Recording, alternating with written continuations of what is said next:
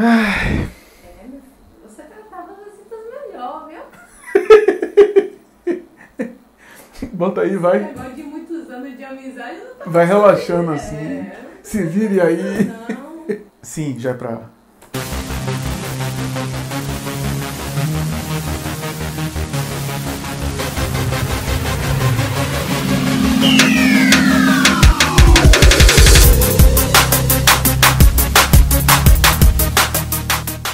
Para mim é uma grata satisfação, uma alegria estar aqui, é, em que pese eu sou colaborador conhecido do Raciocínios Espíritas, mas esse projeto do Ciência Espírita não é um projeto que eu domino, que estou à frente. Minha amiga Patrícia Lins, que está aqui gravando e que está aqui comigo, ela que está à frente do projeto, então me submeto às diretrizes e às, às regras e, as, e os critérios que ela mesma estabelece, que ela mesma coloca. Então, para mim é uma, uma grata satisfação. Tenho visto alguns vídeos do Ciência Espírita, tenho gostado bastante, tenho tentado assistir aí todos é, para mais tarde serem ve veiculados aí ao público, né?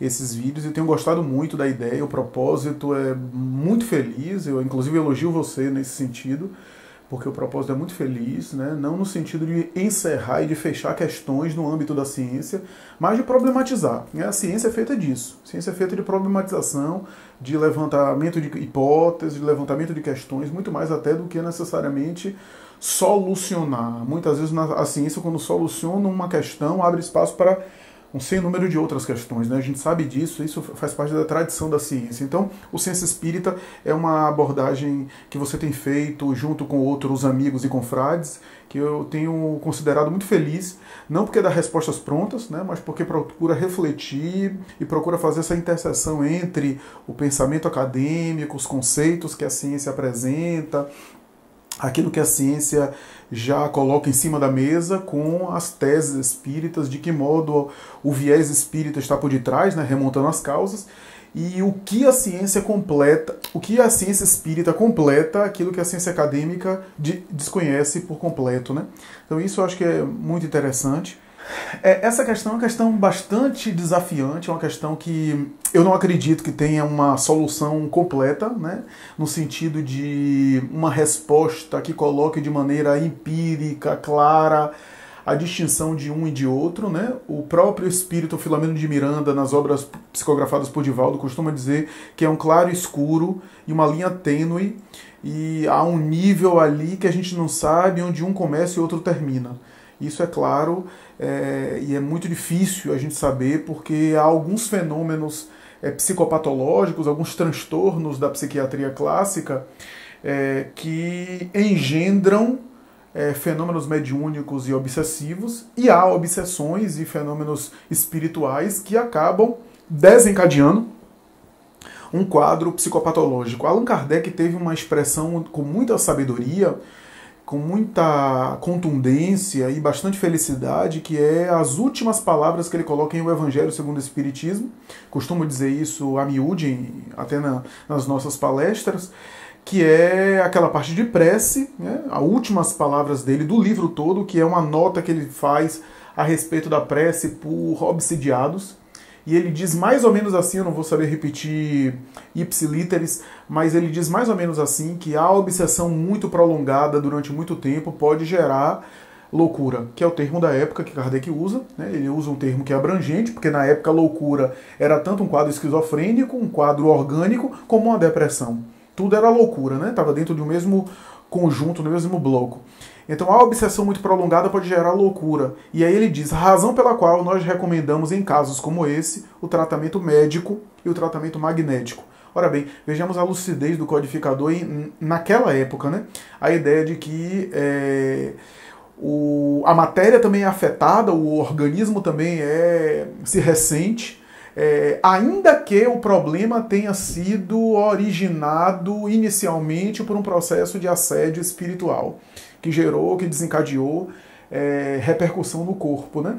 Porque a obsessão, se a gente for parar para pensar, numa irradiação negativa e deletéria no cérebro de um encarnado durante anos e anos e anos, acaba por gerar, às vezes, algum dano, né? No sistema nervoso, em alteração de enzimas, produção de neurohormônios, né?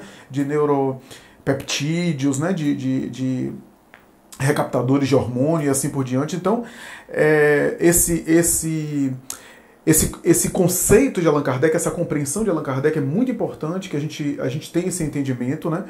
É, e hoje, nas ciências atuais, a gente tem quadros que não são orgânicos, mas são exclusivamente de fundo psíquico, e quadros que são exclusivamente orgânicos, ou de origem orgânica, um traumatismo craniano, uma sequela de determinada doença que gera uma loucura, né? A tese conhecida da sífilis, por exemplo, e outros, né? Que às vezes gera algum transtorno mental.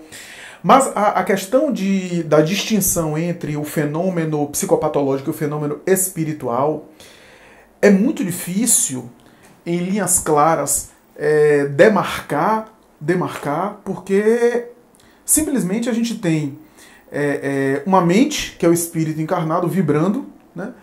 E quase nunca, para não dizer nunca, ele não vibra sozinho, ele sempre está conectado na sua faixa. Né?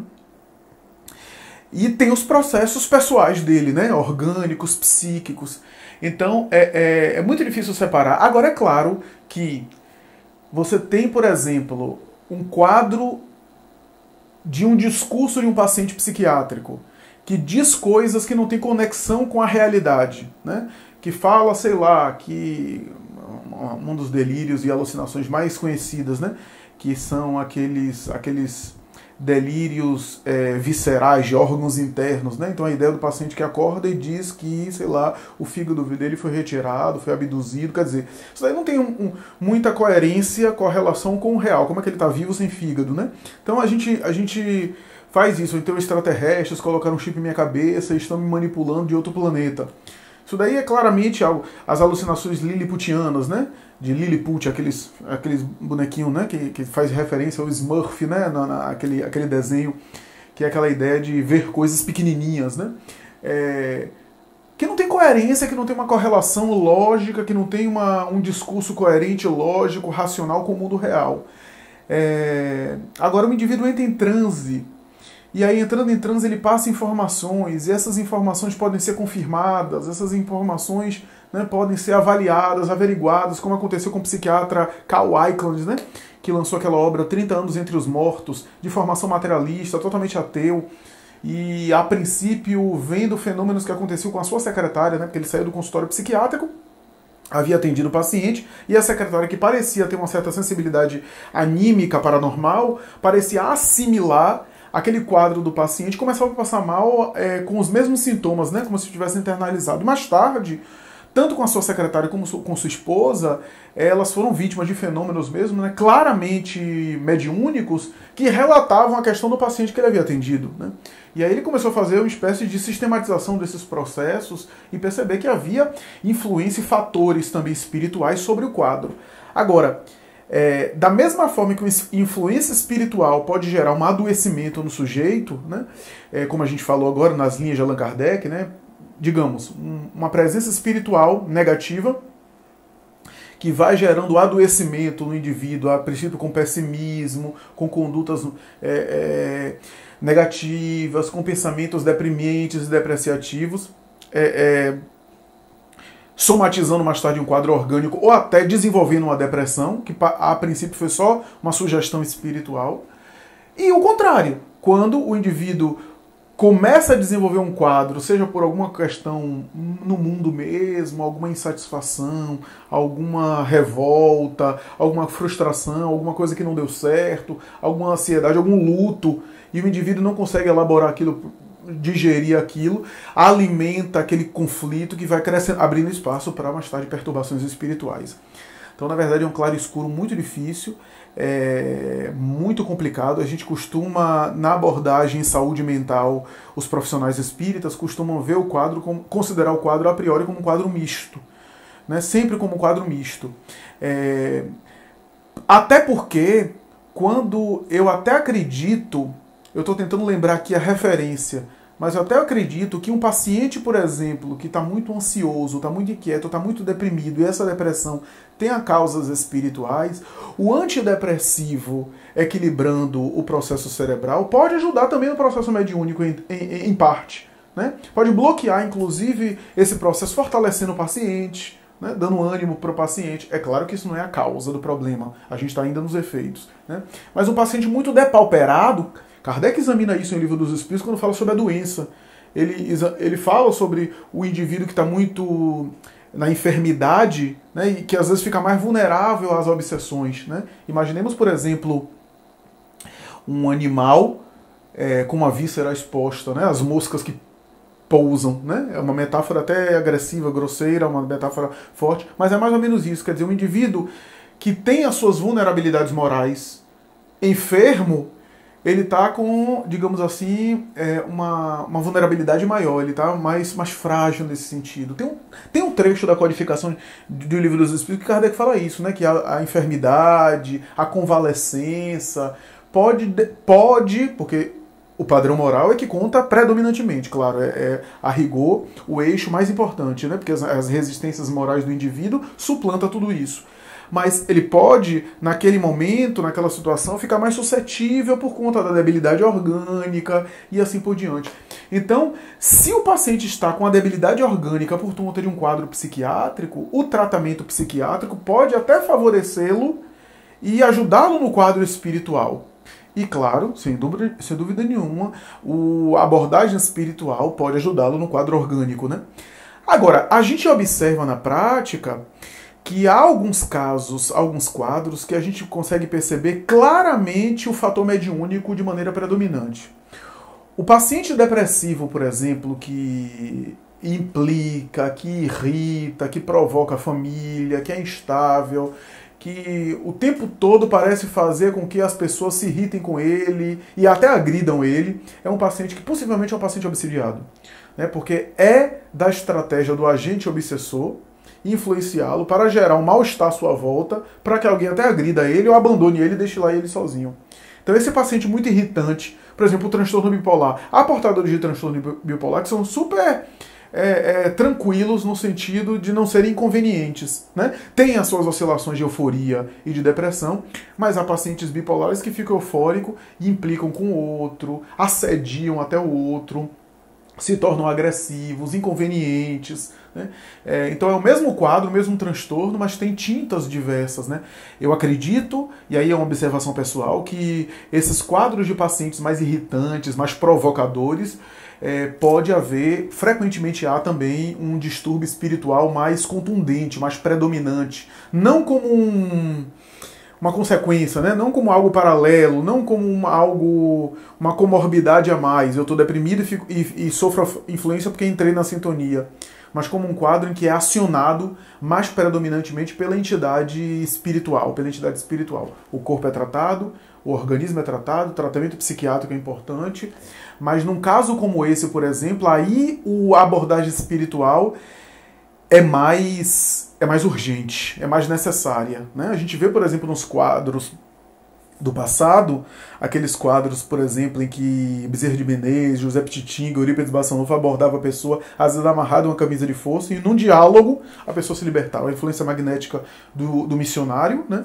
é, sobre o paciente, um quadro predominantemente obsessivo, né, para não dizer exclusivamente obsessivo, um quadro como esse, e que, afastado o agente perturbador, a pessoa, quase que como um milagre, como acontece no Evangelho de Jesus, quase como no milagre, a pessoa recupera a lucidez mental. Né? Então há quadros realmente, né? tem um quadro no Evangelho famoso de uma aparente epilepsia, né? o Evangelho fala que o indivíduo chegava a babar sangue, né?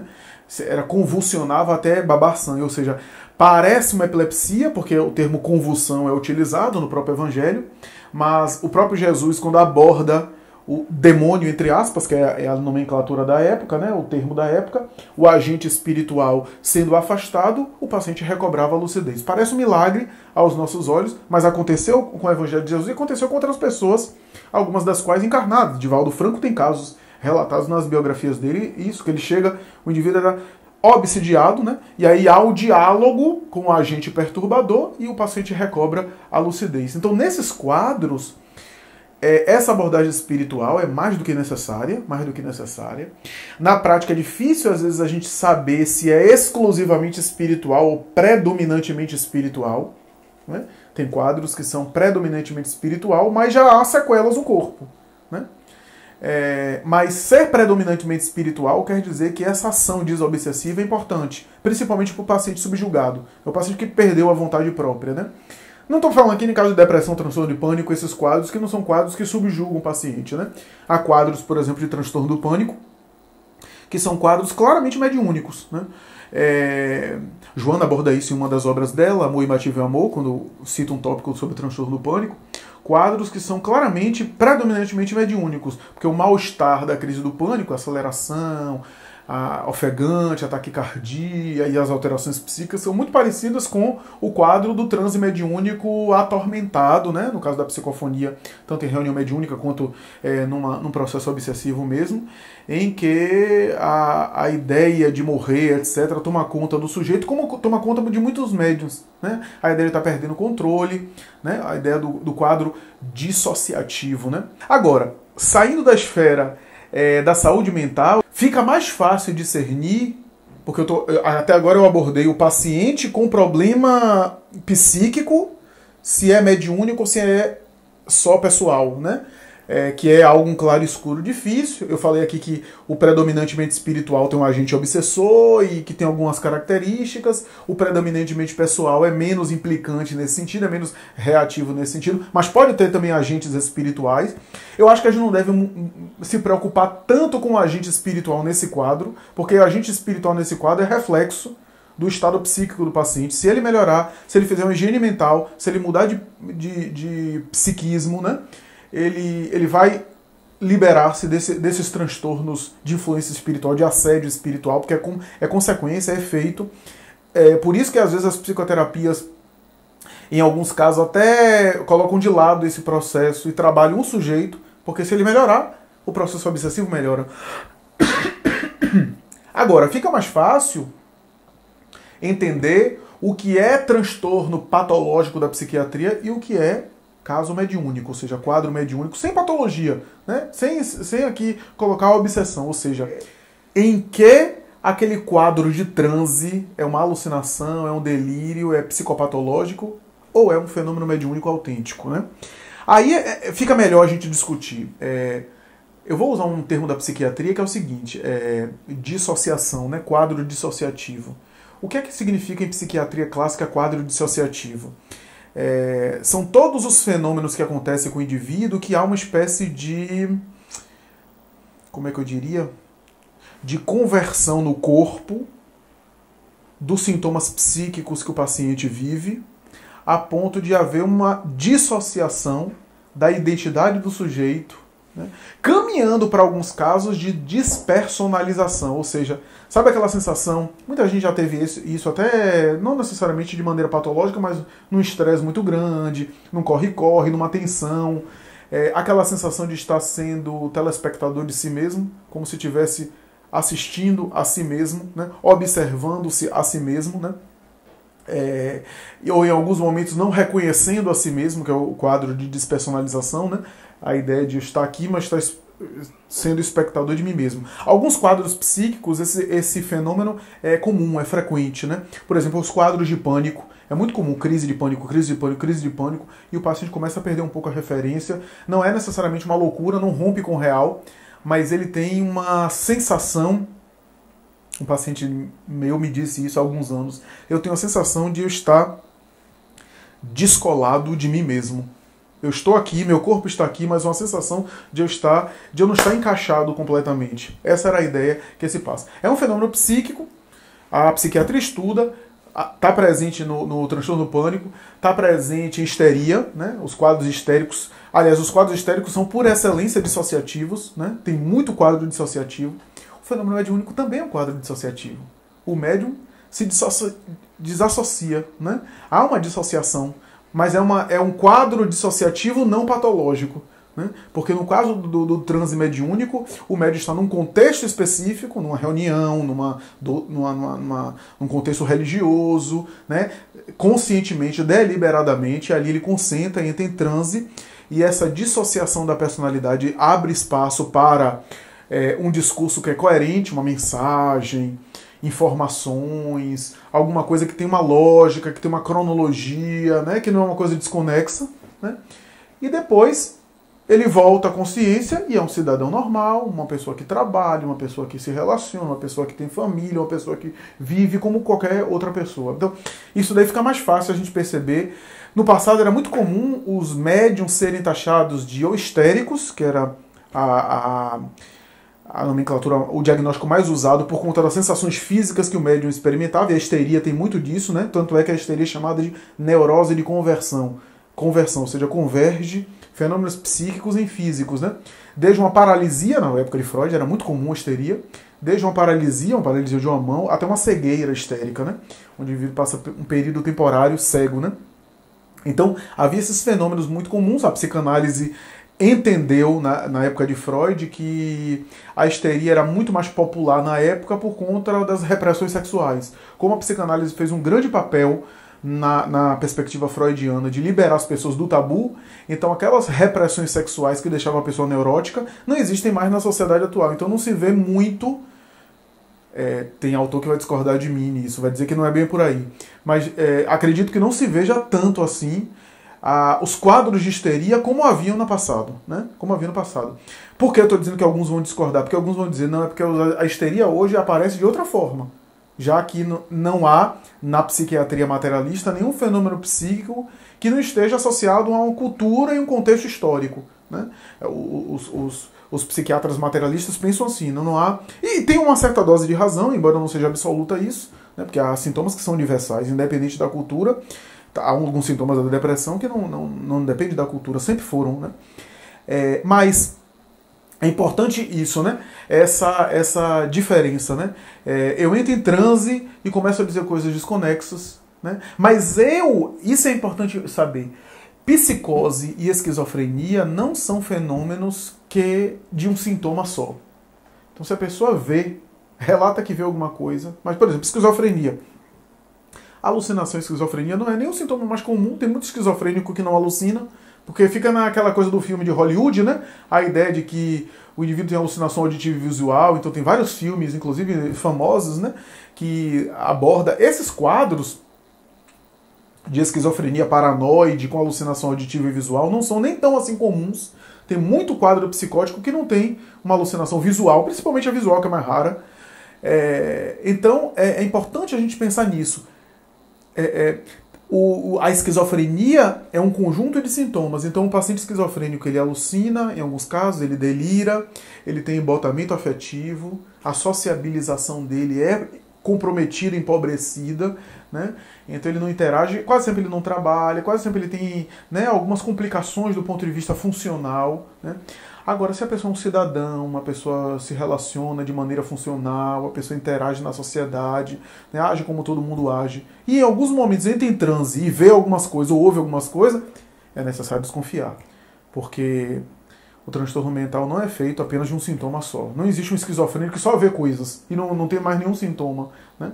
Então, isso eu acho que os psiquiatras hoje estão mais em alerta em relação a isso, estão mais atentos em relação a isso, é, percebendo é, essas nuances. Já há os chamados quadros dissociativos de contexto religioso, é assim que os psiquiatras e os próprios livros de diagnóstico mencionam, ou seja, é, transes de contexto religioso. Então a ideia de que não é uma coisa é, tão patológica assim, porque está inserido num contexto. Né? Aí o, o, os estudiosos não entram no mérito se aquilo é real ou não. Né?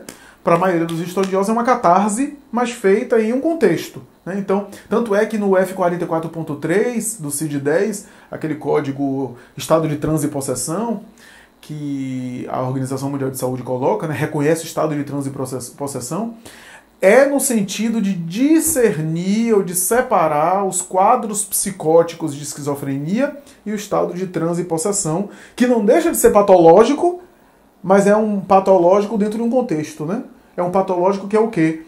Uma coisa histérica que joga para fora, uma coisa específica do contexto, mas não é esquizofrenia. Já é um avanço, já é uma evolução.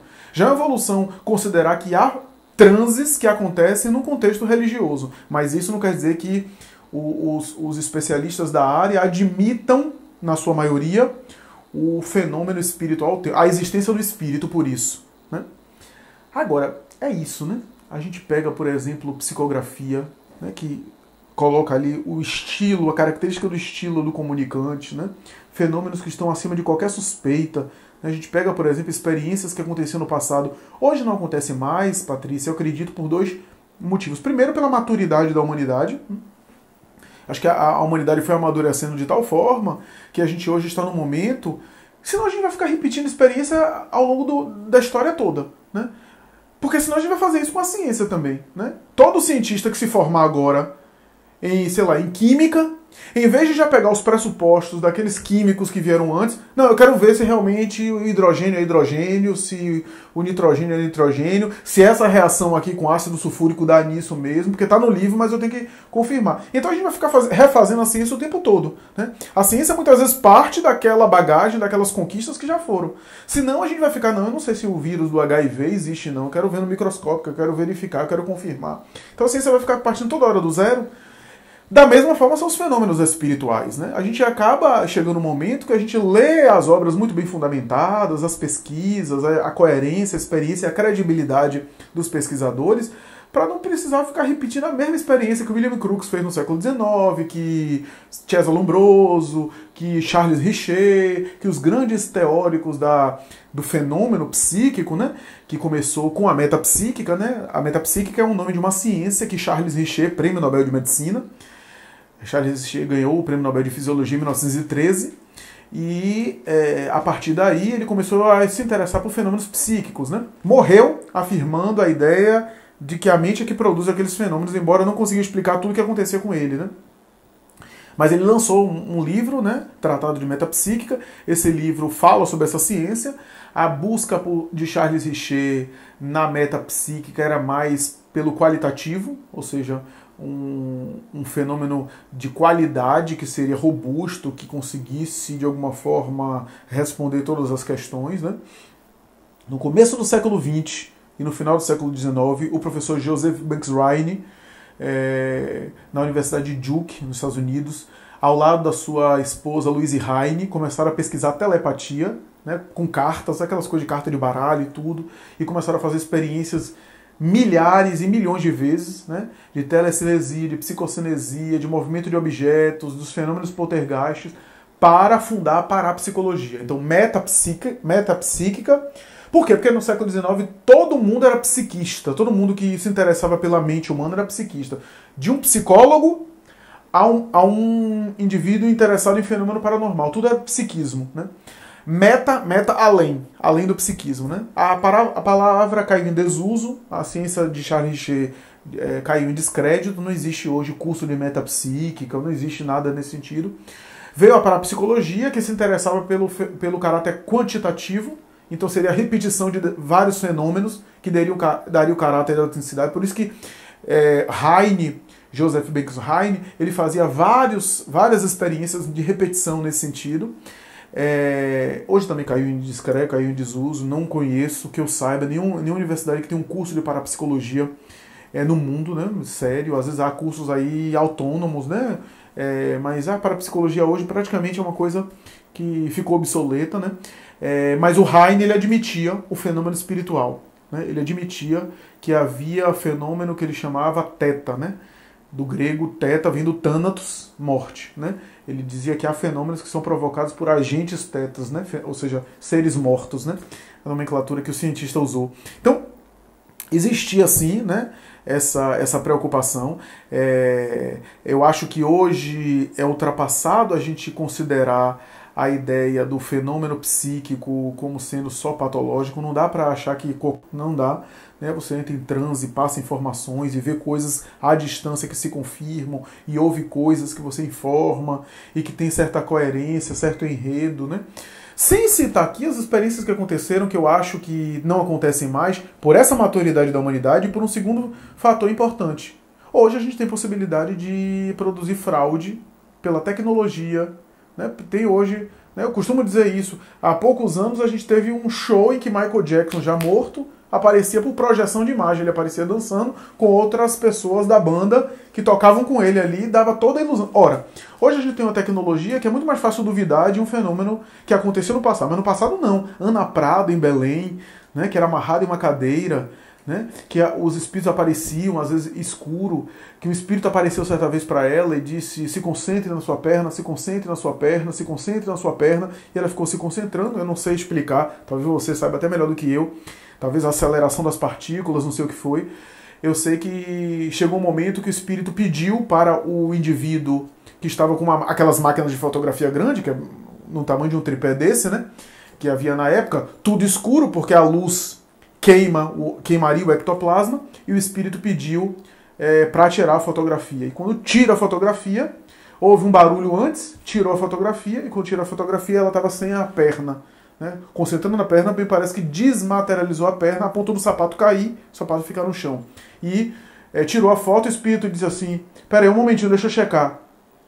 E depois de alguns minutos disse: A foto foi batida e a imagem foi registrada. Né? Ele foi checar se realmente registrou por conta né, da situação. Fenômenos extraordinários que aconteciam e vamos concentrar agora para reconstituir a perna da médium. Hoje, com tecnologia, é muito fácil a gente fazer uma fraude, né? Ou suspeitar de uma fraude. Por isso que Kardec vai dizer que os fenômenos intelectuais se sustentariam, porque se uma fraude dessa é possível com ilusionismo, com recurso tecnológico, é, é muito mais difícil eu psicografar uma carta de um filho cuja mãe está presente e que dá dados que só a mãe sabe, dá coisas da convivência dos dois que só os dois sabem. Então aí realmente se torna é, algo mais robusto, né? mais robusto. Ou então coisas que, que é, acontecem e que a pessoa não tinha nem condição. Né? Eu me lembro de uma paciente minha que tinha transtorno do pânico, mas também tinha um fenômeno mediúnico. Né? Tinha os dois quadros, olha que coisa interessante. Ela tinha o transtorno de ansiedade, tinha sintomas, mas também tinha um quadro mediúnico. Né? E em alguns momentos ela, já abordei isso em palestra, em alguns momentos ela é, se voltou é, comigo, para mim, e disse algumas coisas que eu estava vivendo. Né? Falou coisas e disse assim, sim, continue, prossiga. Né? E ela disse, é, eu noto que você está preocupado, está acontecendo isso e aquilo, etc aconteceu isso e isso na sua casa, não foi? Eu quase perguntava a ela se era grave. Mas, enfim, mas aí eu ia ter que pagar consulta para ela, né? Porque aí já, já inverteu a posição. Mas é, é, eu vi ali um fenômeno. Ela tinha um sofrimento mental, um sofrimento que precisava ser tratado, mas também era portadora de uma sensibilidade, uma sensibilidade psíquica. Já houve uma paciente que a gente pediu para ela hiperventilar no consultório, era uma paciente clássica de um quadro de pânico, mas eu suspeitava de algum sintoma mediúnico, né? É, e ela acelerar a respiração, né? a, a chamada hiperventilação. Eu pedi para ela, porque há uma técnica da terapia cognitiva de pedir para o paciente respirar e fazer, não façam isso em casa. Às vezes a gente faz isso. Qual é a ideia da terapia cognitiva? É o seguinte: é, a hiperventilação para um paciente de pânico que passa mal quando começa a acelerar, começa a ficar ofegante, é o seguinte: ele vai começar a respirar e acelerar né, o, a respiração, e aí ele vai começar a sentir o mal-estar. É uma técnica cognitiva, ou seja, eu próprio vou entrar em contato com aquilo que tanto me desconforta. Então eu começo a eu respirar, respirar, acelerar, começo a sentir taquicardia, sudorese, alteração de pressão, de temperatura. E aí eu começo a enfrentar esse sintoma, né? É como se houvesse uma catarse, um desabafo, e eu volto com uma sensação de controle maior. Ora, se eu, respirando aqui, produzir uma crise, eu posso também, num controle mental, evitar a crise. Essa é a técnica de hiperventilação que é utilizada na TCC, Terapia Cognitivo Comportamental. A mesma hiperventilação é utilizada em outras abordagens, inclusive na psicologia transpessoal. Eu pedi para a paciente fazer essa técnica, era meramente cognitiva. A paciente entrou em transe, num transe mediúnico, né? E começou a dizer coisas, e falar de coisas. E eu sabia que não era ela, porque ela falava coisas que ela não concorda. Ela dizia coisas que ela nunca diria é, é, é, conscientemente. Então, inclusive, era um, ela tinha uma, uma, questão com a mãe, especificamente, uma relação um pouco conturbada com a mãe, e, e em transe, é, a entidade defendia a mãe, né, dizendo que não era bem assim, que era injusto que ela estava falando, que a mãe tem os defeitos dela, mas a mãe também ajudou muito ela, e etc. E, e falou um monte de coisa. E aí eu me lembro que mencionou alguma coisa comigo, do tipo assim, é, é, como se ao chegar aqui para atender, essa entidade estava aqui próximo pelas redondezas e me viu e ela, ele comentou alguma coisa que a paciente não podia saber. Do tipo assim, eu não sei se foi uma dificuldade de estacionar o carro. Ele disse, ah, tava com dificuldade de estacionar. Eu vi que você chegou aqui esbavorido na, no, no, horário quase atrasado. Uma coisa assim que a, a, a paciente não podia saber, sabe? Um detalhe. E eu vi ali que se tratava de uma paciente que tinha um sofrimento psíquico, mas tinha também uma sensibilidade mediúnica. Né? Então isso é, é interessante, né? É, esse é um tema muito delicado, é um tema é, difícil porque é, existem várias abordagens para essa questão da expansão da consciência, né? para o desenvolvimento psíquico. O espiritismo ele não é contrário necessariamente a pessoa desenvolver-se psiquicamente no sentido mais natural do termo. Né? É, a gente vê nas obras espíritas, né, vou citar aqui uma, né? quando a gente vê, por exemplo, a saga de Paulo Estevam, a gente vê uma, um Saulo convertido, a princípio sem nenhuma sensibilidade mediúnica. Ao longo da obra a gente vê que com o seu crescimento enquanto pessoa, o seu crescimento psíquico, né, e aí a mudança de hábitos, hábitos mais saudáveis, frugais, né, ele em alguns momentos, eu concordo com a tradição esotérica, é, embora o Espiritismo não tenha isso, e a gente nem vai fazer esse tipo de, de prática de, sei lá, não se alimentar, ficar em jejum, porque não é um ritual espírita, o espiritismo não tem esses rituais específicos, né? É, ou comer comida X, etc. Mas isso deve ter alguma influência, sem dúvida. Né? A gente não pode incorporar isso à prática espírita para não se constituir num dogma, né? ou numa exigência obrigatória para ninguém. Mas alimentação frugal, a meditação, o silêncio interior, os exercícios espirituais, determinada disciplina podem favorecer o campo psíquico, principalmente o silêncio interior, de captar e até se desenvolver psiquicamente. Né? Então, o Saulo, por exemplo, na obra Paulo Estevam, ele vai desenvolvendo potenciais ao longo do caminho como consequência. Ele foi crescendo como pessoa, crescendo psiquicamente, né? sem necessariamente forçar nada, buscar nada.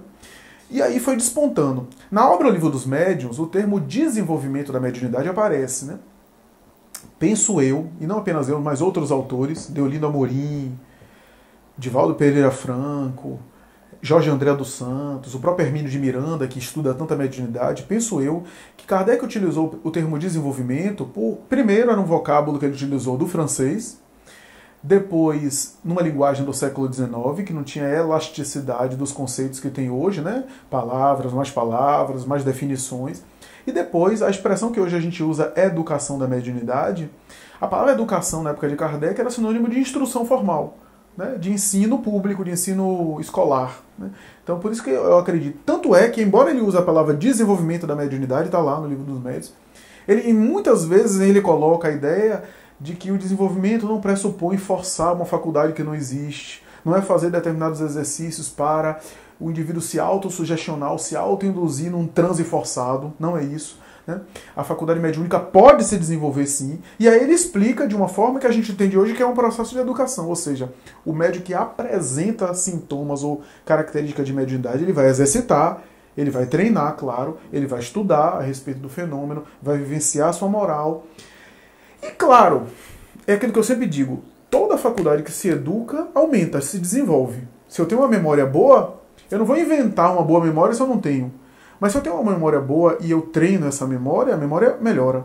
Né? Se eu tenho habilidade para tocar piano e eu estudo música, eu contrato um professor, eu exercito, eu tenho disciplina, educando, treinando, eu aumento também, eu desenvolvo. Então, não é um desenvolvimento no sentido da tradição da projeciologia, respeitamos profundamente a projeciologia, mas a abordagem da projeção astral, da projeciologia do Dr. Valdo Vieira é diferente do, da abordagem que o Espiritismo faz em relação às faculdades psíquicas, é diferente de algumas práticas esotéricas, é a ideia da expansão da consciência no sentido de provocar violentamente um transe. Ivone Pereira tem uma experiência muito bonita e muito interessante nas obras dela, quando ela aborda a questão de que ela, às vezes, em alguns momentos, ela tentou forçar uma emancipação, né? e olha que ela tinha capacidade de emancipação, forçar, inclusive, ir para alguns lugares emancipadas, sem necessariamente ser algo espontâneo ou de acordo com os benfeitores espirituais que assessoravam a faculdade dela, a faculdade mediúnica dela, e ela ficou numa situação difícil, né? ficou numa situação de prejuízo e de mal-estar, com repercussões mais tarde no corpo, né? Então não é uma coisa de a gente forçar, vou fazer agora um monte de exercício, vou ficar forçando, pressionando o dedo na testa, colocando um cristal aqui no terceiro olho. Toda, todas essas tradições que a gente respeita muito, mas dentro do espiritismo não é essa prática que a gente faz de ficar forçando a faculdade, até porque o indivíduo pode se autossugestionar, pode produzir um fenômeno anímico da sua própria imaginação. Todos nós podemos, somos suscetíveis disso, de fazer uma auto-hipnose, né? É, é, mas é claro que a expansão da consciência enquanto amadurecimento da alma, eu acho que é um negócio mais interessante. Muito mais interessante do que apenas é, expandir ou tentar expandir a consciência através de fenômenos metafísicos, fenômenos que têm o seu lugar, que pode ser um instrumento de crescimento, que pode fomentar o crescimento, a pessoa vai e aí entra em transe, aí vai entrando em estado alterado de consciência vai compreendendo as coisas. Eu não posso negar que pode haver um certo crescimento nisso. Os pacientes que viveram o EQM, experiência quase morte, voltaram com uma compreensão diferente e amadureceram. Né? Mas não é suficiente, porque o indivíduo pode vivenciar esses transes, como acontece com alguns, e continuar, continuar a mesma pessoa. Não expandir a consciência no sentido mais profundo. Então, eu acho que o fenômeno é consequência. Se você amadurece psiquicamente, se você se melhora, se você é, é, consegue o controle sobre si mesmo, né? o trabalho das suas emoções, dos seus impulsos, né? o desenvolvimento da sua moralidade, vai é, produzindo desenvolvimento psíquico também, ou seja, é, faculdades psíquicas, a rigor, a princípio anímicas, né? Porque na verdade todo o processo mediúnico parece ter nascido, parece, eu estou colocando aqui em hipótese, porque Ivone que levanta isso em recordações da mediunidade, parece ter suas nascentes em faculdades anímicas, a princípio. Né? Pense aqui, por exemplo, emancipação da alma. Emancipação da alma é anímico. Ninguém precisa de um espírito para sair do corpo. É uma faculdade da própria alma. Mas quando você sai do corpo e entra em contato com o espírito, e recebe alguma comunicação, volta ao corpo e passa a mensagem, já se transformou em mediúnico. Então o mediúnico e o anímico acabam se misturando. A princípio parece uma faculdade anímica, ou faculdades anímicas, até porque se a mediunidade é do patrimônio da pessoa, a sensibilidade mediúnica, se é uma faculdade da alma, como todas as faculdades são da alma, se expressando através do corpo ou de uma estrutura neurológica, é possível pensar que é, aquilo foi adquirido em, um, em muitas encarnações, né? uma mediunidade como a de Chico, por exemplo, foi adquirida em inúmeras encarnações, para ele agora expressar essa mediunidade através de um corpo compatível, claro. Né? Mas é, foi um exercício, foi uma faculdade mediúnica que foi ensaiada, anímica, que foi ensaiada. Então a gente pensa em expansão da consciência nos seguintes termos: eu estou expandindo a consciência no sentido de eu estou amadurecendo como pessoa, amadurecendo a minha sensibilidade no trato com o outro, né? Emmanuel tem uma mensagem que ele, ele vai dizer: é, se você quer ser um médico de cura, comece a amar os doentes, né? Para no futuro, talvez não nessa encarnação, talvez em outras encarnações, essa faculdade vinha à tona. Porque o médico de cura de hoje foi alguém que ensaiou esses potenciais lá atrás, né? Então, é, é, você desenvolve-se como pessoa, né? ou seja, você é, o desenvolvimento é mais da sua mente, o desenvolvimento é mais do seu psiquismo para, como consequência, você poder viver um estado alterado de consciência, né? ou seja, essa expansão da consciência no sentido fenomênico, mas é, como resultado do amadurecimento que você já conseguiu. Né? Isso que aconteceu com Paulo. Agora, alguém vai perguntar, mas quanta gente imatura que tem uma sensibilidade mediúnica fantástica, que entra em transe, que cai no chão, que dá passagem, que tem transes sonambúlicos, que tem fenômenos de efeitos. Esses são espíritos comprometidos que antes do berço escolheram um corpo que pudesse filtrar comunicações mediúnicas, mediunidade de prova, como diz alguns autores, né? Alguns autores dividem mediunidade de prova e a mediunidade natural, né? Natural é aquela que vai ser ensaiada ao longo das encarnações. E a de prova é quando o espírito é, vivencia uma oportunidade de, de uma mediunidade mais ostensiva, porque é um espírito endividado, incomprometido na, na visão espírita. Então ele vem à Terra ele mergulha no corpo com um grande patrimônio mediúnico, quase sempre feito de muitas angústias, de muitos fenômenos de sofrimento, para poder, de alguma forma, amadurecer, crescer com aquilo. Então, a expansão de consciência é nesses termos. Eu acho que existem exageros e extremos em relação à regressão. A regressão não deve ser execrada, a regressão não é uma técnica que deve ser considerada contrária à doutrina espírita. A doutrina espírita é uma doutrina eminentemente de apoio com a ciência, com o progresso da ciência.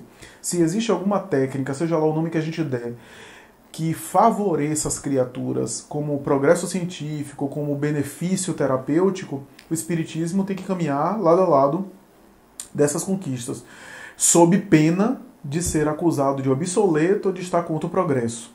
Então, Kardec deixa isso muito claro. A regressão não é uma técnica que o Espiritismo condena é, a despeito do Espiritismo falar do esquecimento do passado. Os textos da codificação que abordam a questão do esquecimento do passado abordam no sentido de que a criatura, por uma bênção da natureza, por uma sabedoria divina, tem o véu sobre o passado. É, colocado sobre ela, né, e cujas lembranças ficam um tanto diluídas, né, um tanto veladas. Nos textos que Kardec aborda a questão, Kardec diz isso, né, e que é uma benção. Por quê? Porque dá, dá autonomia, dá livre-arbítrio ao indivíduo, faz o indivíduo é, começar do zero, entre aspas, né, ter outras oportunidades. E se ele trouxesse as cargas de conflitos do passado, talvez ele não conseguiria viver a vida atual. Quantos conflitos nós já temos dessa existência? Né? Se a gente fosse tomado por tantos conflitos anteriores, a gente não suportaria, talvez, nem fisicamente, nem moralmente falando. Imaginemos alguém que cometeu um crime hediondo, reencarna, a reencarnação de alguma forma oculta aquele crime, no sentido de indivíduo ter a oportunidade agora de refazer, e esse indivíduo é, ter essa essa situação revelada para o público, ou seja, ele vai na rua e ele é identificado como alguém que na vida passada fez aquele. Quer dizer, ele teria a sua privacidade constrangida, né, violada, e a obra de Deus não é de violência nesse sentido. Né? Então, é uma benção de Deus, Kardec coloca isso, é uma benção de Deus, a sabedoria limitar as lembranças ou bloquear as lembranças. Então, isso é regra geral, o Espiritismo coloca isso, por isso que, via de regra, respeita as leis de Deus, respeita o bloqueio das lembranças, respeita o esquecimento do passado. Via de regra é isso que a gente deve respeitar. Por isso a gente não deve forçar, violentar. Agora, o próprio Kardec, na obra da codificação, diz que o esquecimento é relativo, que muitas pessoas em recolhimento sabem quem foram, ele, diz, ele usa essa expressão. Muitas em estado de emancipação tomam conhecimento do seu passado, e mesmo em vigília, Kardec vai dizer, mesmo em vigília, em alguns momentos de reflexão e de recolhimento, de silêncio interior, diríamos em uma linguagem mais conhecida atual, em meditação, tem acesso ao passado. Né? Então o esquecimento é relativo, é um véu que bloqueia relativamente. Né? Emmanuel também fala isso nas obras dele. É, e, que, e que a terapia de vidas ou vivências passadas, como preferem alguns autores, ou a regressão de memória, é uma técnica que induz o indivíduo, através de processos hipnóticos, a despertar determinadas recordações, quando o caso indique por necessidade terapêutica. Primeiro lugar, há uma avaliação, os melhores terapeutas e teóricos de regressão de memória abordam isso, que é necessário que o paciente preencha alguns pré-requisitos, né? desde os mais básicos, um cardíaco não pode participar de uma regressão por conta do conteúdo emocional forte, é óbvio isso. Um paciente esquizofrênico psicótico que tenha é, uma alteração psiquiátrica muito, muito contundente não deve participar por conta de da sua sensopercepção já está um pouco perturbada, né? em que Pese Groff fez experiências com esquizofrênicos, os terapeutas como Roger Wuger desencarnado há alguns anos, é, Maria Prieto Pérez aqui no Brasil, Helen Wambach, é, um dos pais da. Morris Neferston, que foi um dos pais de San Diego da terapia de vidas passadas, e o Edith Fiore, né? É, e tantos outros, eles abordam isso, né? O paciente psicótico não. Pacientes que têm um quadro específico de uma demanda que não está tendo resposta com as terapias convencionais. Então, normalmente, os, os terapeutas coerentes e bem gabaritados na regressão, eles fazem primeiro as terapias clássicas convencionais. O indivíduo não respondeu aos, aos tratamentos convencionais. E ainda assim, tem alguns casos que são contraindicados. Por exemplo, vou dar um exemplo que é clássico para ficar claro, embora seja um exemplo um pouco forte. Imagine um pai que tenha um complexo de Édipo com a filha e vice-versa. Imagine, por exemplo, uma filha que tem sentimentos de libido para com o pai e o pai com relação à filha. Imagine se esse homem faz uma regressão de vidas passadas e se vê como amante dessa filha. Será, pergunto eu, que aquilo iria ajudar? Será que talvez ele não trouxesse agora esse conteúdo? Será que talvez ele não ficasse mais perturbado? Será que ele iria conseguir ver a filha como filha? Ou agora não olhar a filha como amante, amante do passado, que agora com essa carga? Então tem quadros, principalmente esses quadros de relacionamento familiar, de dramas familiares, que é melhor não mexer. É, conheço uma pessoa que mexeu nisso, despertou, conseguiu despertar uma recordação, né? um quadro conjugal com o marido, e se viu no, no Brasil aqui, na época da escravidão, é, o marido senhor de, de engenho, escravo, ela, mulher, esposa, não era escrava não, mas houve um, uma situação lá, um conflito lá, e ele passou por cima dela com cavalo e tudo, é, com as patas do cavalo e tudo. Ela não conseguiu mais digerir aquilo. Né? E o ódio, o mal-estar e o ressentimento do marido daquela existência, e que estava bloqueado em forma de antipatia, de dificuldade de relacionamento, vieram em toda a tona. Então, isso deve ser muito bem pensado. Hermínio de Miranda tem uma obra que eu acho fenomenal sobre esse assunto, que é A Memória e o Tempo, né, que é uma obra que eu recomendo, uma obra muito bem escrita, com aquela maestria dele, que ele aborda casos né, fantásticos, é, é, com, com, com o cuidado que lhe caracterizava, o estilo. Né? Então, é, é, mas a regressão, em alguns casos, tem objetivos e efeitos terapêuticos muito bons, muito bons, principalmente em quadros que eu estou ilustrando aqui. Por exemplo, quadro de fobia, que são medos irracionais, né? Uma regressão que desperta às vezes uma cena. Muita gente tem a ilusão de que vai fazer uma regressão em vidas passadas e vai ver dez vidas passadas, ou vai ver toda a vida, da infância até a morte da outra encarnação. Às vezes é uma cena, é uma imagem que vem à tona, é uma imagem que vem à consciência, uma cena específica que o indivíduo. E aí ó, há duas situações. Ou o indivíduo se vê em primeira pessoa vivendo a situação, mas percebe que o cenário é de antigamente, etc. Ou visualiza uma outra pessoa com aparência diferente, com vestimenta diferente, mas se identifica como ela, como a própria pessoa. Né?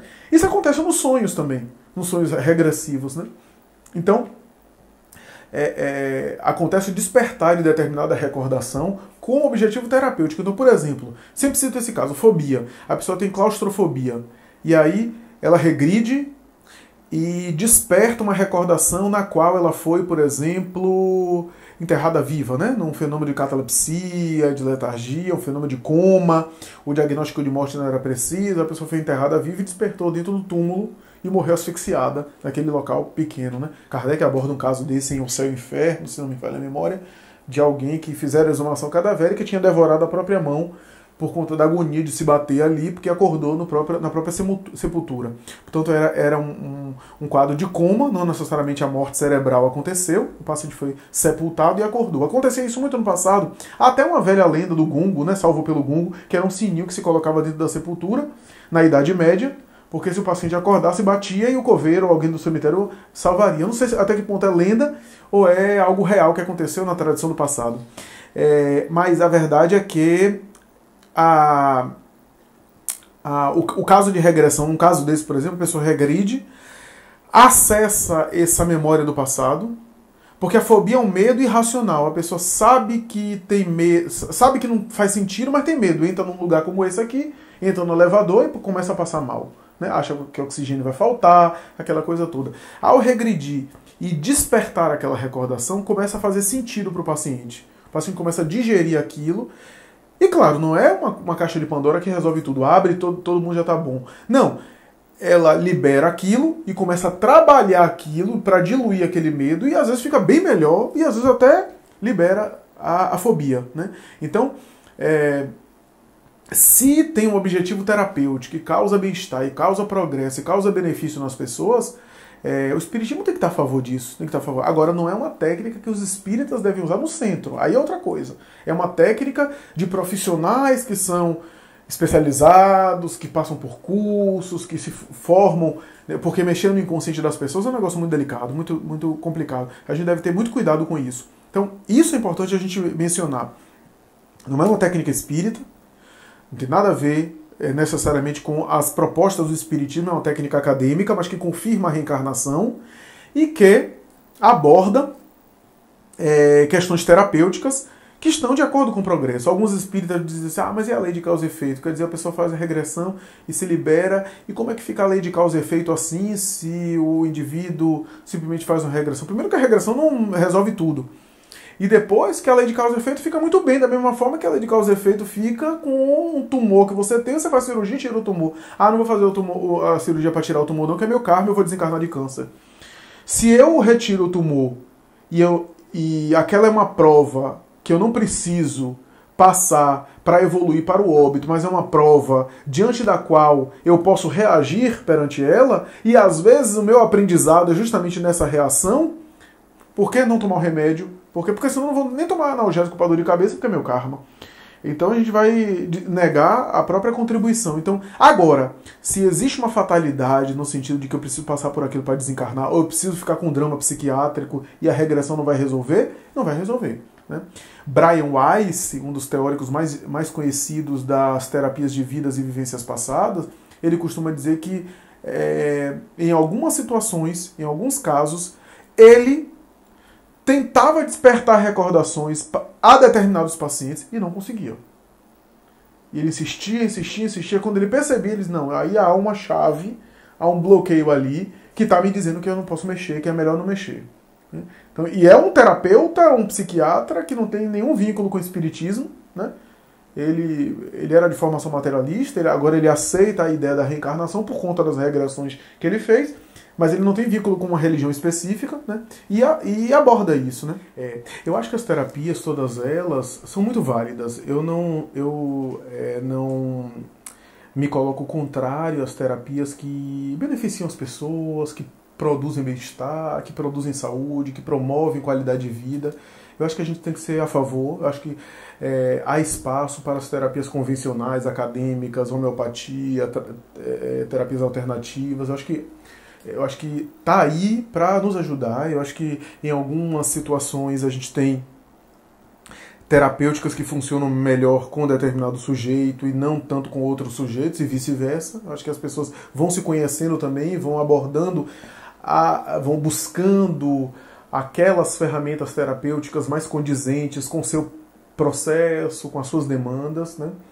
É, eu acho que, que as terapias que visam essa questão de profundidade, ou seja, o que é que eu estou chamando de profundidade? Isso que você está falando do renovar a mente, no sentido de mudar de concepção, se trabalhar internamente são terapias que não são tão buscadas assim. Né? A terapia do chá, não que a terapia do chá não seja importante, mas a terapia do chá, a terapia do cristal, a terapia é, de dar dos pulinhos, a terapia de sei lá o que, essas terapias normalmente são mais buscadas, né?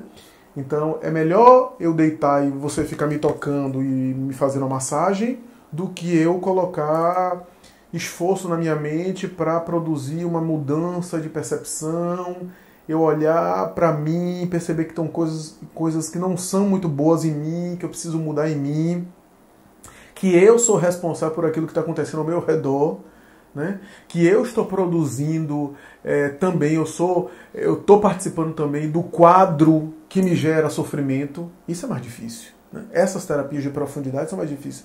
É, e quando eu falo de terapia de profundidade, é, não estou me circunscrevendo aqui apenas à psicoterapia, porque eu sou. Não, é, não. É, embora as terapias, né, é, as terapias que visam a mudança do sujeito, como as, as psicanálises, são terapias consideradas de profundidade, mas a própria doutrina espírita também convida o indivíduo a olhar para si, a se investigar, né, a, a procurar se conhecer primeiro, né, é, mais até do que buscar necessariamente um auxílio de fora. O auxílio de fora importante é é, a gente costuma, eu costumo dizer isso, que a gente faz por fora aquilo que a gente ainda não conseguiu construir por dentro. Então, enquanto a gente não constrói por dentro, a gente vai fazendo por fora. Aí toma medicação, faz uso do comprimido, faz as terapias holísticas, faz acupuntura, faz homeopatia, é, de fora para dentro, para um dia sair de dentro para fora. Né? Mas é, acontece muito também os indivíduos ficarem numa busca apenas exterior e não melhorarem, ou ficar só trocando de problema. Né? Isso é muito comum. Então a pessoa deprime, aí começa a fazer um tratamento, melhora, volta aos padrões anteriores, porque acha que não tem nenhum compromisso, foi só tomar medicação e fazer, sei lá, uma mudança alimentar e pronto, tá, tá, tá bem e volta, daqui a pouco deprime de novo, deprime de novo. Então, é, mudar é sempre muito doloroso, né? Modificar, saber que eu estou produzindo, eu sou responsável psiquicamente. Né? É mais fácil dizer que tem um encosto com você que fizeram um trabalho contra você, você tem que fazer um trabalho para desfazer. Nada contra, não estou criticando nenhuma prática nesse sentido, mas isso é mais cômodo, porque está externamente, porque você não tem participação, você não se envolve. E não é isso que diz a doutrina espírita. A própria doutrina espírita não se coaduna com essa ideia. Do contrário, a lei de causa e efeito é uma falácia. Do contrário, o que acontece comigo foi porque alguém fez um trabalho contra mim, eu sou inocente. Então, se, se a gente compreende dessa forma, a gente está admitindo que as leis de Deus são injustas e que o universo é um caos. Então, se acontece alguma coisa comigo, é porque eu, de alguma forma, tenho alguma participação. Seja porque eu sou um espírito endividado e estou agora é, me recuperando moralmente na experiência atual, seja porque, de alguma forma, eu fiz algo que permitiu esse sofrimento que agora me chega. Né? Tem uma mensagem de Emmanuel que ele fala isso, né? que é, a diferença nossa para os espíritos missionários é que eles conseguem aproveitar o sofrimento de uma forma que a gente não consegue. A gente sofre e quer logo um anestésico para perder a consciência e de repente ficar dias dormindo. Nada contra os ansiolíticos, muito pelo contrário, tem o seu uso particular, mas é porque a nossa sociedade hoje é uma sociedade é, rivotril, uma sociedade que é, você não pode ter nenhum incômodo, né? Você não pode ter incômodo que você tem que ser, ser anestesiada, porque você não pode sofrer, você não pode ter angústia. Né? Então está produzindo uma sociedade de pessoas fracas emocionalmente. Pessoas que não conseguem enfrentar um luto, porque senão vem enlouquecer, então tem que dormir, tem que colocar para dormir. Anestesia, dopa, né? Repito, não que esses quadros ou é, que essa intervenção farmacológica é apenas uma metáfora, mas que não seja também necessária. Mas é, eu acho que a, a ideia da, da, da, busca por profundidade é, é, doloroso porque faz você se comprometer com o seu processo. Né? Faz você entender, admitir que você também faz parte. A doutrina espírita fala isso. Né? Fala que você também está engajado no, no, seu processo. Então, os espíritos superiores eles aproveitam muito mais o sofrimento por conta disso. Por quê? Porque o espírito superior, primeiro, o espírito superior, o espírito elevado, ele não, ele não gera sofrimento a esmo. Né? Porque às vezes a gente sofre causas atuais das aflições. A gente né, deu, deu motivo. Né? A gente buscou sofrimento. Né? Pelo excesso, pela irresponsabilidade, pela negligência, a gente acaba produzindo sofrimento. Os espíritos mais avançados, primeiro que eles não sofrem desnecessariamente, então eles não provocam sofrimento. Porque esse, esse sofrimento nosso dessa encarnação que a gente né, faz uma besteira e acaba sofrendo, faz outra besteira e acaba sofrendo, são sofrimentos que quase sempre não tem, não, não nos ajudam muito, porque só nos lembram aquilo que a gente já sabe, né, que são os equívocos atuais. Agora, aquele sofrimento que diz Emmanuel que não eu não aciono, aquele sofrimento que me chega, né, eu estou no bem, eu estou trabalhando, aquele sofrimento que me chega, aquele ali, se bem aproveitado, alavanca a gente para cima, né? E eu acho que as psicoterapias atuais têm que levar em conta isso. Né? Tem que levar em conta que é, não apenas anestesiar o sujeito, mas instrumentalizar o sujeito para o sujeito saber como sofrer. Né? Não passar a ideia ilusória de que ele não vai sofrer porque ele vai. Né? Que ele vai enfrentar é, atritos, vicissitudes e que essas vicissitudes têm um sentido pedagógico de fazê-lo crescer. Então, é, é, a, gente, a, gente, precisa aprender também a estar tá produzindo, servindo quando a gente está mal, quando a gente está deprimido, que é uma coisa que a gente não sabe. A gente deprime, abandona tudo, não quer mais saber de nada. Né? Então, eu acho que isso é, é algo importante e é, eu sou a favor de qualquer terapêutica que, que, claro, que tem um objetivo terapêutico relevante, que traga benefício, né? mas eu acho que às vezes a gente esquece dessa terapia de profundidade. Eu acho que a, o convite de Jesus de vai e não tornes a pecar, ou a tua fé te salvou, a gente esquece fica só na cura, só na cura do corpo, né? só na ressurreição de Lázaro, só no conserto da mão mirrada, só na, no melhoramento da, da mulher corcunda, da, dos fluxos sanguíneos da hemorroíça, e a gente fica só preso no fenômeno.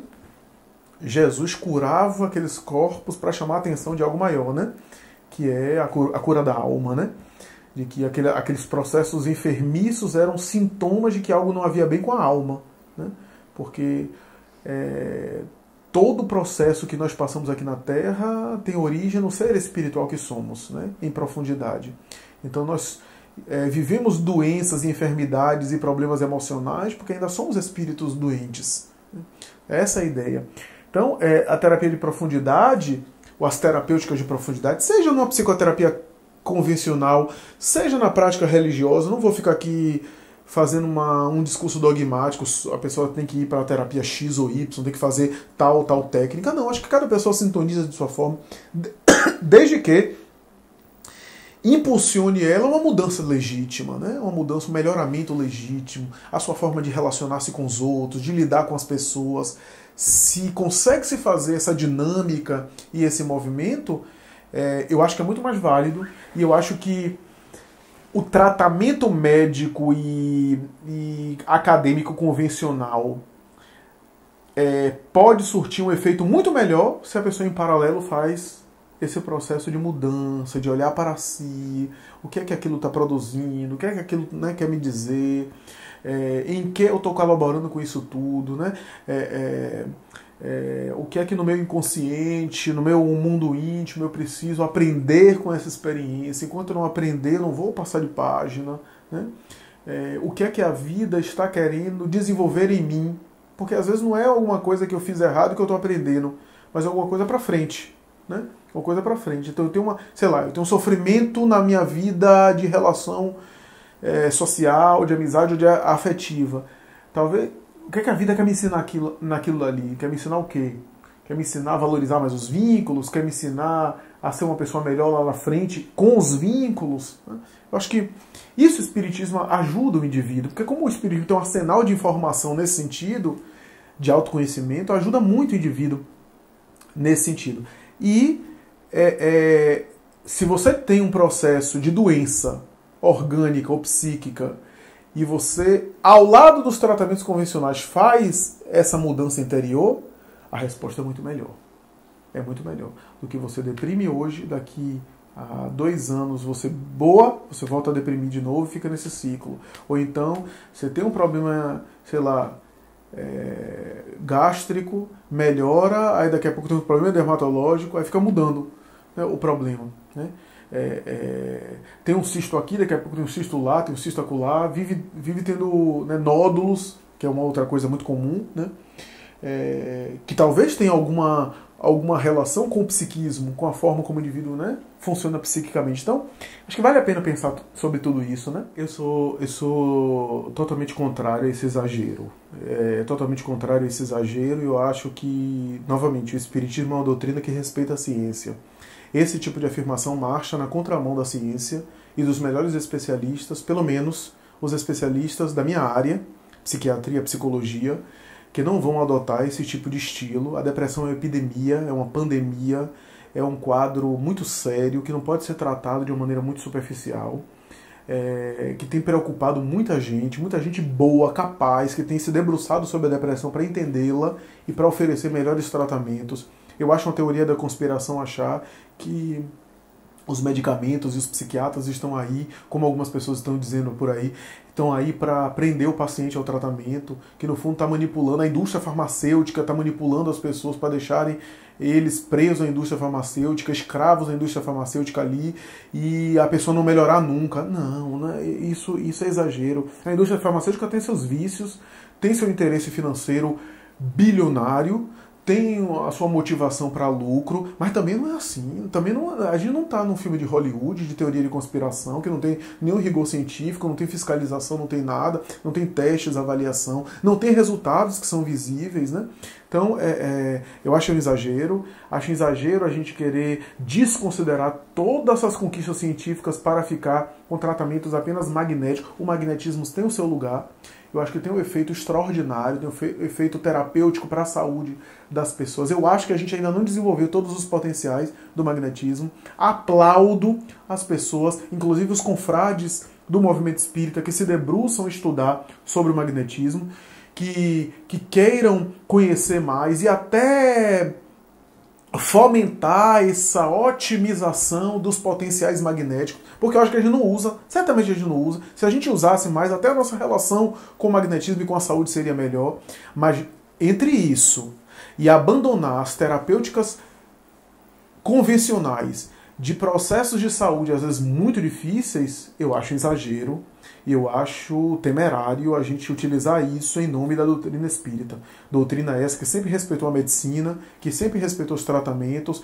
Ademais, eu não vejo por que o magnetismo tenha que substituir algum tratamento convencional quando pode ser em paralelo. O indivíduo está deprimido, ele está usando medicação, ele está fazendo seus tratamentos convencionais e ele também se submete ao tratamento fluidoterápico, magnético. Eu não sei por que tem que uma coisa anular a outra. Eu acho isso muito temerário, arriscado, porque você vai recomendar a pessoa largue o seu medicamento, o seu antidepressivo e vá fazer tratamento é, fluidoterápico no magnetismo. E se a pessoa se suicida, como é que a gente fica? Como já aconteceu. Eu conheço no movimento espírita pessoas que foram aconselhadas a largar a medicação, pacientes deprimidos com ideação e compulsão suicida e que se suicidaram. Porque o dirigente do centro recomendou isso. Né? Então, eu acho que a gente tem que ter muito cuidado com a saúde da. Ah, mas Fulano se curou de depressão com magnetismo. É uma experiência de Fulano. É uma experiência dele. A gente não pode pegar a experiência dele ou dela e dizer que todo mundo vai ser assim. Isso daí é um despautério. Né? E é um desrespeito com a saúde do outro. E como a gente tem muita gente que acredita em qualquer coisa, hoje a gente está numa época tão confusa que se a gente falar alguma coisa espiritual, coach espiritual, a gente fala e as pessoas acreditam. É muito fácil seduzir e iludir alguém nesse sentido. Mas há uma justiça que vai nos cobrar isso, né? Que vai nos cobrar isso. Então, eu acho que estudar magnetismo, né? produzir conhecimento sobre magnetismo, tentar desenvolver esses potenciais, tudo isso muito bom, mas a gente não precisa ficar anulando os tratamentos que já estão por aí, né? A gente não sabe é, os efeitos disso e a gente não tem como dominar todas as áreas da ciência e diagnosticar tudo como sendo é, como tendo uma, uma única receita que é um tratamento com magnetismo. Eu acho que não é por aí.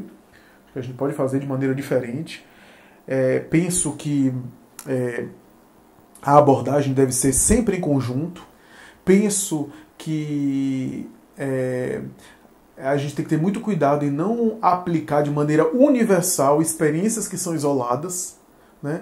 Eu não duvido que o magnetismo tem um efeito positivo tanto na saúde orgânica quanto na saúde psíquica, porque é o fluido animalizado, como diz Allan Kardec. Né? É doação de fluido vital. Né? Então, o indivíduo que está depauperado, ele pode se sentir melhor, ele pode se modificar, mas não sejamos ingênuos. Há quadros crônicos, há quadros graves. Né? Há quadros que o indivíduo sai e responde muito bem, e há outros não. Né? Então eu acho que a gente precisa ter muito cuidado, muito bom senso nesse sentido, para a gente não estar, inclusive, agredindo o bom tom da doutrina espírita. Nunca veremos Allan Kardec fazer esse tipo de coisa, recomendar esse tipo de coisa. Né? É, sempre a proposta kardeciana é uma proposta de, é, eu diria até de interdisciplinaridade. Né? Que é essa coisa do agregar o pensamento, né? Até porque, se o paciente começa. Veja que coisa interessante, Patrícia. Eu, eu até fiquei até fazendo voltas aqui em outro momento, como é muito comum no meio da minha fala. Eu até fiz voltas porque eu queria justamente lembrar disso. A prática clínica, e eu sou testemunha disso, na minha experiência como psicoterapeuta, a prática clínica demonstra que o paciente, quando começa a melhorar, ele está tomando remédio, sei lá, remédio para dormir, ou antidepressivo, ele faz o tratamento espiritual, faz a sua autoterapia no sentido de se renovar e tudo. Ele começa a melhorar do processo, o tratamento espiritual, o tratamento desobsessivo. Né? Tem, casos, tem casos que, por exemplo, o indivíduo realmente foi ajudado numa desobsessão e começa a melhorar visivelmente. Né? Veja que coisa interessante. É, vou, vou, pegar o exemplo do magnetismo, a gente pode pegar outros exemplos, a desobsessão, o passe, espírita, etc. Mas vou pegar o exemplo do magnetismo. A pessoa está fazendo tratamento com psiquiatra, na área lá da saúde mental, e faz o tratamento com magnetismo. Aí ele o tratamento com magnetismo surtiu muito efeito, né? respondeu bem, ele está respondendo bem. A gente vai observar uma coisa que eu observo na prática clínica, que é o seguinte: a pessoa vai melhorando, a medicação fica em excesso. Então, ele melhora, aí, se for o caso de ele ter muita insônia, o medicamento que ele estava tomando, que era estava na conta, estava na, na, quantidade certa para ele dormir e acordar bem no dia seguinte, ele já começa a se queixar dizendo: Poxa, o meu, sei lá, meu benzodiazepínico, meu tranquilizante que eu estava tomando, que eu estou tomando, agora eu tomo e no dia seguinte acordo ainda sonolento demais, fico sonolento o dia inteiro, é, é, com uma espécie de ressaca o medicamento já está em excesso. Porque ele foi melhorando, já não está precisando de tanta medicação. Né? Assim é com um tranquilizante, assim é com um antidepressivo. E aí ele vai ajustando isso com o psiquiatra, dizendo que está se sentindo melhor, né? que talvez seria interessante reduzir, o psiquiatra vai testando isso com ele. Né? Então isso é muito interessante a gente pensar nisso, né? para a gente não ficar nesses processos mágicos. Né? Se fosse assim tão fácil, a gente ficar aplicando magnetismo por aí, todo mundo está curado da depressão, todo mundo está curado de doença mental, todo mundo tem câncer agora e se cura, daqui a pouco tem cura da AIDS com magnetismo. Não sejamos ingênuos, né? É, é, é existem quadros aí, são quadros provacionais, expiatórios, que demandam do sujeito. Porque do contrário, olha só, a gente não está falando de regressão, né? Da mesma forma que a gente não pode achar que a regressão vai resolver todos os problemas, porque senão seria driblar a lei de causa e efeito. Então, quer dizer, todo mundo toma magnetismo e todo mundo tem magicamente todos os seus processos solucionados. Seria ótimo. Eu também gostaria que fosse assim. Né? Mas não me parece coerente que seja é, é, somente nesses termos. Né? Então a gente tem que ter muito cuidado para a gente não ser acusado de falta de bom senso, fanatismo religioso, é, incoerência a não ser que alguém apresente um trabalho científico e publique esse trabalho científico numa revista de ciência séria, apresente no Congresso que o magnetismo agora substitui qualquer medicação psiquiátrica. Se essa pessoa fizer isso num evento de ciência sério, eu sou o primeiro a aplaudir e divulgar o trabalho dela. Porque se ela conseguir demonstrar de maneira, eu não vou dizer nem empírica, porque como a gente está falando de saúde mental, às vezes o método é outro, mas demonstrar de maneira argumentativa, de maneira lógica, coerente, aquele método poder ser replicado e reproduzido, claro, ótimo, a gente abandona as medicações psiquiátricas que têm as suas reações adversas para ficar com magnetismo, claro. Mas até lá a gente não pode aceitar de maneira cega isso, né? Eu gostaria de agradecer, acho que eu me alonguei demais, mas ela depois faz as edições aí, corta e, e ajusta de um modo mais econômico, mais viável. Eu era mais econômico, estava comentando isso com você, era mais econômico, sucinto lá no início das, das pré-eleções doutrinárias, de repente eu vou, eu vou, de repente eu vou é, retomar esse lado mais conciso, mais econômico, eu ia direto ao ponto, né? Mas eu acho que também tem essa coisa do tema, né, da, da experiência, a gente, a gente percebe que não é tão, tão assim A, a, B, né, mas tem tem outras nuances, né? E a compreensão que a gente tem do assunto faz a gente também fazer digressões maiores, né? Mas eu acho que eh, acho que eh, ela faz perguntas. Tem um colega nosso que já falou que ela faz perguntas intrigantes e desafiantes, mas eu acho que é super positivo. Me senti muito bem. Eu acho que é, é algo muito, né, muito auspicioso essa, essas discussões, porque sempre a gente está aprendendo alguma nuance, né, sobre essa, essas áreas do psiquismo humano, né? E a gente nunca vai esgotar tudo, né? Não há uma mediunidade igual a outra, não há um fenômeno psíquico igual a outro, não há uma criatura igual a outra, então a gente sempre tá, tem que aprender nisso que eu chamo de ciência do subjetivo, né? Então, agradeço a você e é isso aí.